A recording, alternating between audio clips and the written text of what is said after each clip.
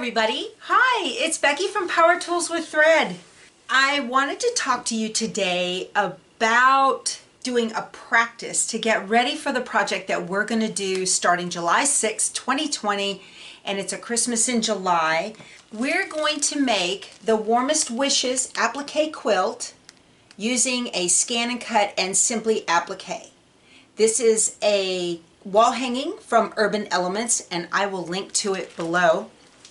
This is really cute. There Now you can buy it in two separate ways. You can get the just the paper pattern that comes like this and then you can also purchase it with the pre-cut, hope I don't drop them everywhere, pre-cut applique pieces.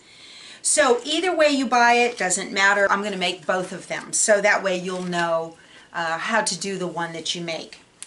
So I've had a lot of questions come in in the form of email and you know on Facebook and whatnot. We have a very supportive Facebook group for Power Tools with Thread. If you're interested, please jump over. We'd love to have you.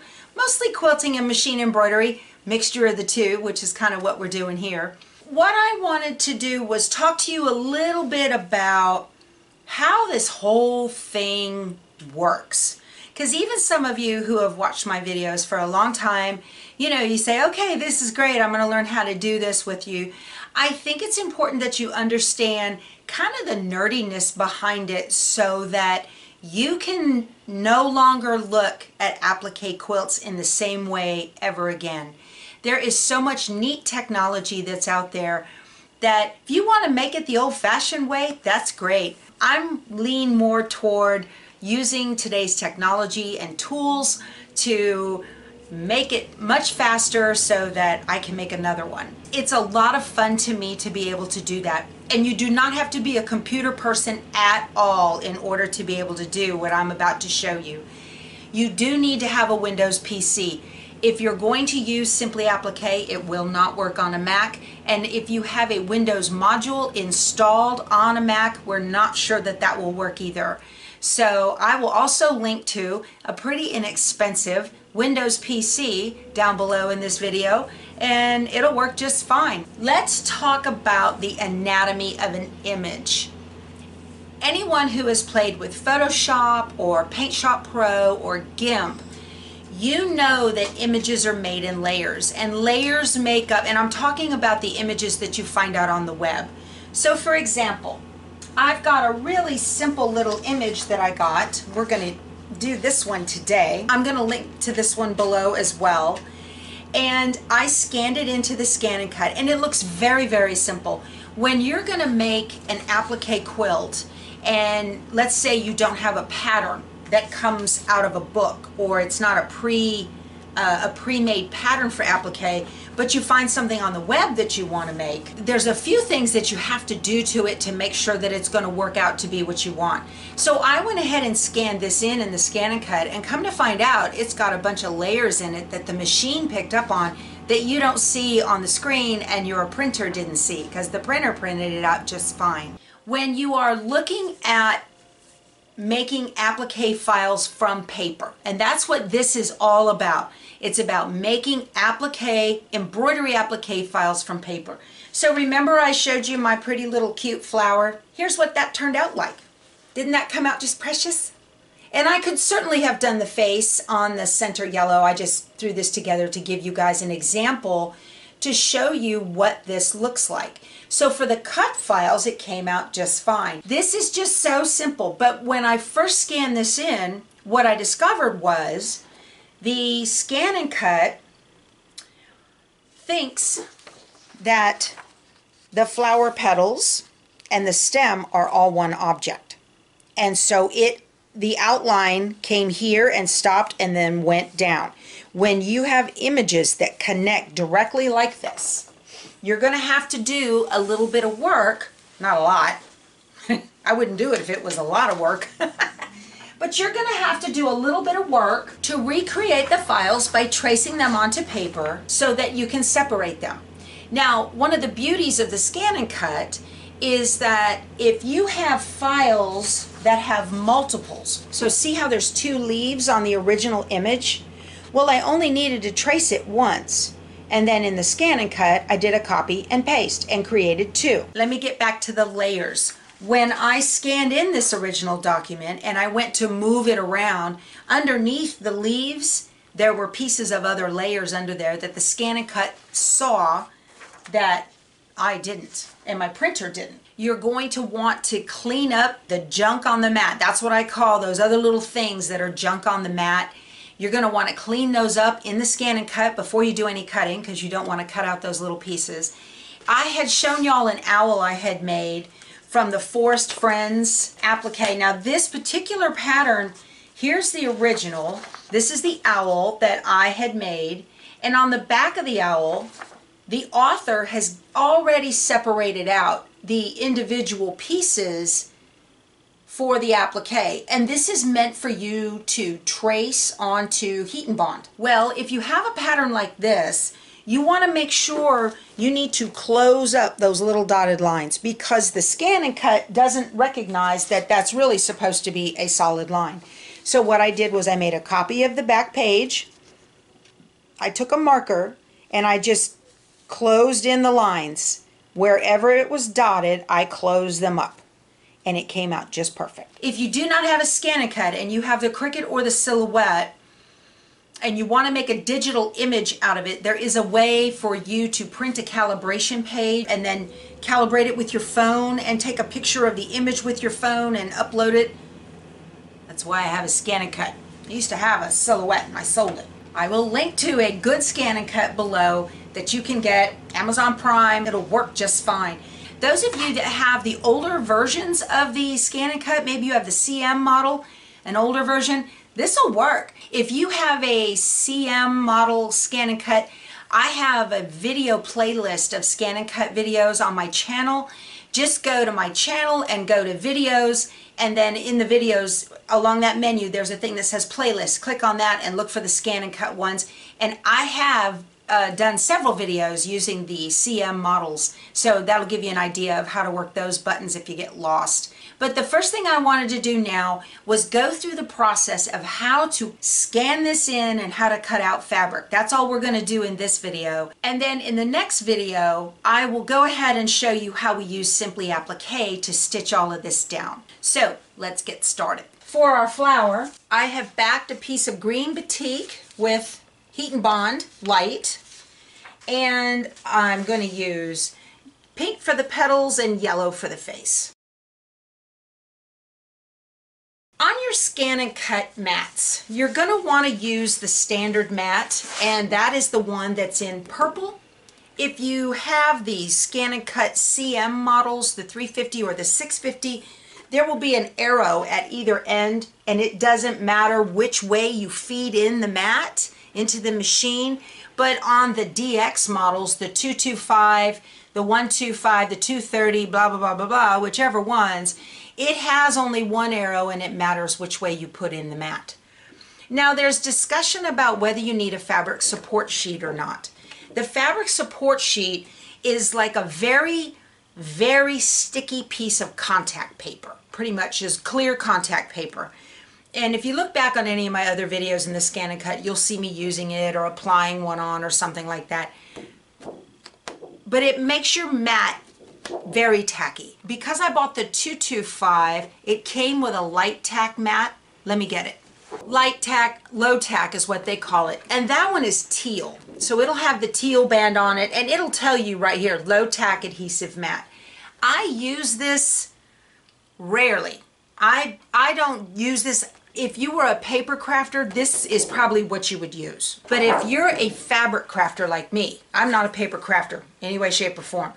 If you're a fabric crafter like me, I've seen videos like Terry Maffitt has used this and she only tapes, she doesn't use the fabric support sheet and she only tapes her fabric pieces to the mat using like Kimberbell embroidery tape uh, the paper tape just on the corners to hold the fabric in place. I have never been very successful doing that and I suspect it's because of the humidity of where I live. Very, very humid here, very warm. And so, and my sewing room is humid because this is an old back patio. I think you would probably want to do a test and see how it's going to work for you. I have heard you can actually buy clear contact paper and use it and it'll stick two, three, four times, you know, however much. It's very inexpensive to replace. If your mat gets, if the fabric support sheet gets cut a little bit during, not a big deal. It's, you know, and if you make the mistake of cutting through your mat, just slap some duct tape on the back and it'll be good as new. There's no need to continually replace these mats. As far as cleaning them, I have heard a lot of people talk about using baby wipes without like lanolin or any kind of lotion or oil in them. Baby wipes are kind of hard to come by. We're in the middle of the COVID thing right now, so, and people don't like going out and going shopping and they're impossible to find anywhere. This is one of those microfiber towels that is used for computers or phone screens or your glasses. It's It doesn't have a nap to it at all. And I just wet it with water and go after this, this sheet. I just did it. I just cleaned it. And you let it dry and, you know, it works great. One of the things that you don't necessarily need, but you might want, is a scanning mat. A scanning mat comes with a clear cover. It's solid white, and it comes with a clear cover that you will take your image that you want to make an applique out of, and you just slip it in here like this. If I did not have a scanning mat, I would use a low tack mat. But what if there's like some thread or whatever kind of stuck on here or something, some dust, some cat or dog fur or whatever? The machine will pick that up. And so that's the beauty of the scanning mat is you can make sure that the machine isn't going to pick up anything that you don't want to because it's been covered. So that it's just handy to have. All right, let's turn on the scan and cut and get started. When you first turn on your scan and cut, it's going to have that pretty screen making some pictures or whatever of projects you can do with it. Just touch it. And it says the carriage will move into the initial position. Keep your hands away. Okay. So this is the basic home screen. Scan and cut does two things. It scans and it cuts, just like the name implies. So we're going to scan right now and then afterwards we're going to get rid of the scan pattern and then we're going to cut. It's a little freaky when it tells you, is it okay to delete this? And you're not deleting the pattern out of the memory. You're just deleting the pattern out of the scan. So just kind of keep that in mind. And if you ever get lost, you can always hit this home button and you'll go back. And then this is your load and unload button and there's a pause. The first thing I want to do is I want to go to scan. Now, you can either scan something and cut it right away. You can scan to cut data, which means it's going to turn it into a digital file that you will use later, or you can scan it to a USB. So we want to scan to cut data. If your start button is grayed out, you need to load your mat. I'm positioning the mat. There's a couple of little edges right here that you it just fits in there perfect. I'm also using the gold top blade. That is the, the lightweight fabric blade, and that's perfect for what we need. So once I have the mat placed properly, I'm going to hit the load button, and it's going to kind of bring it in real slow and initialize it the way it wants and then we're ready to start. All done.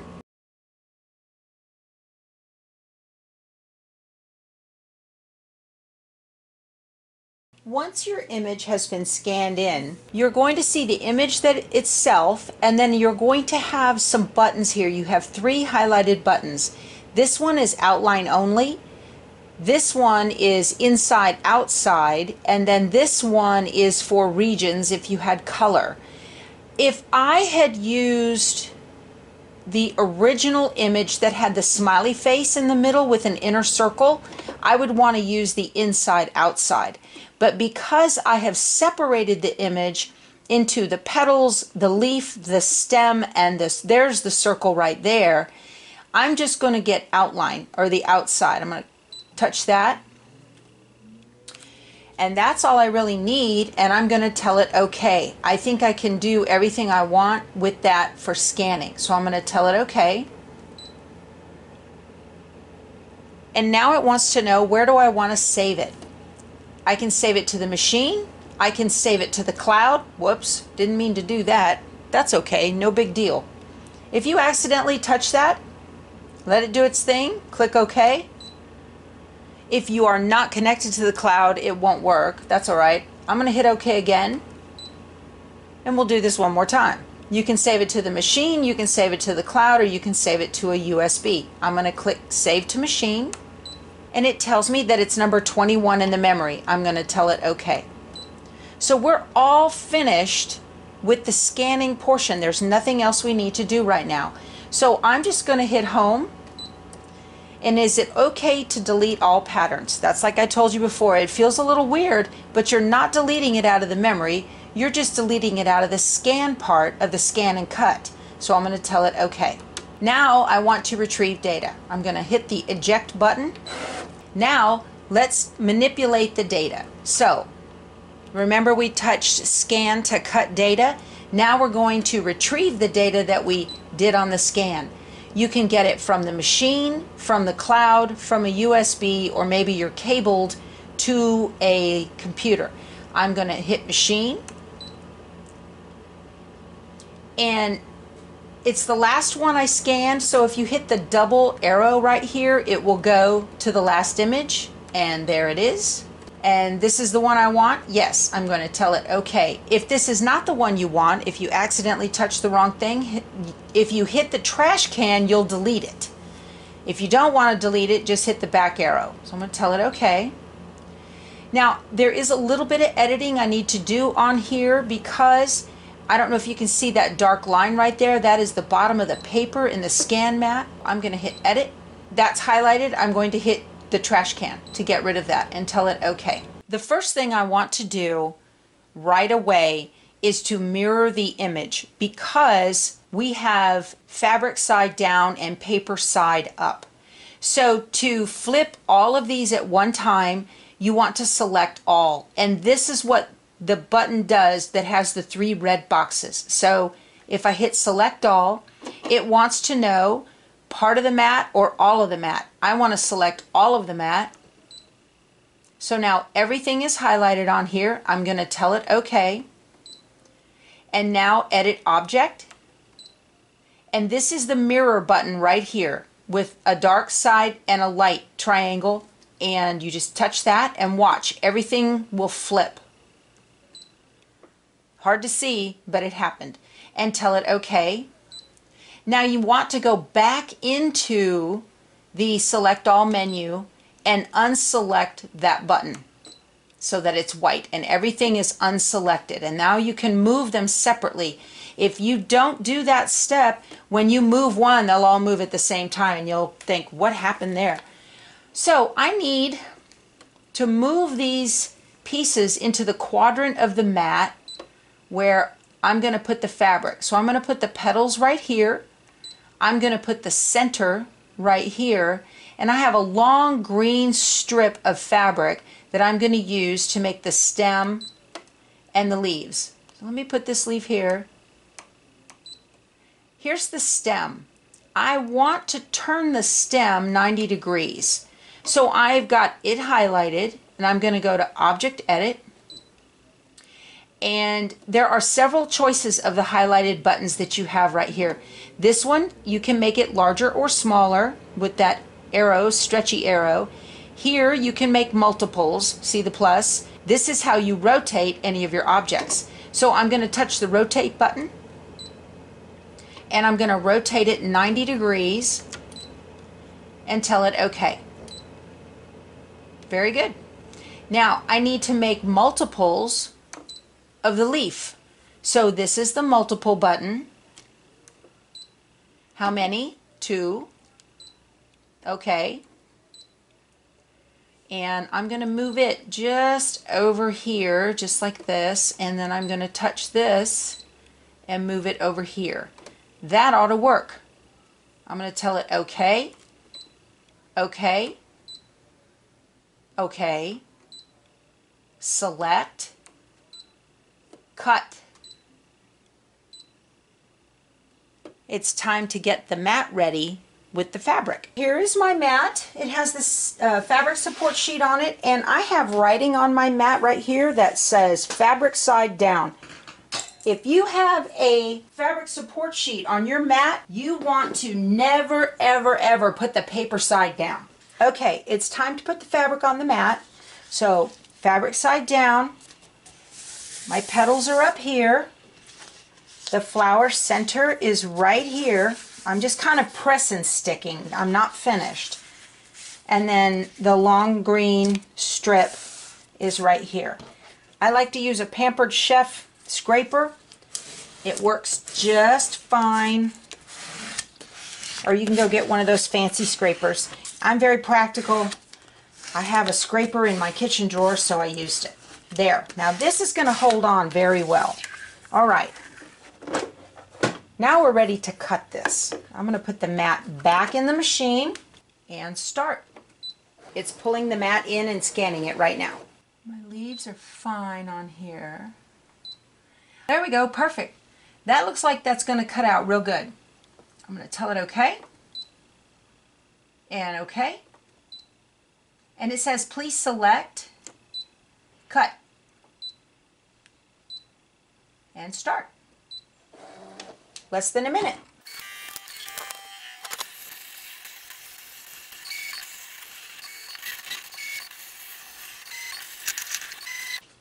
All done. Great. Tell it okay and eject the mat. Perfect. Let's see how we did.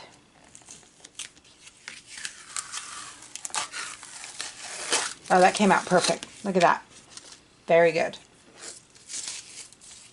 Look at this, y'all. Oh, fabulous. Fabulous. Fabulous. This is great.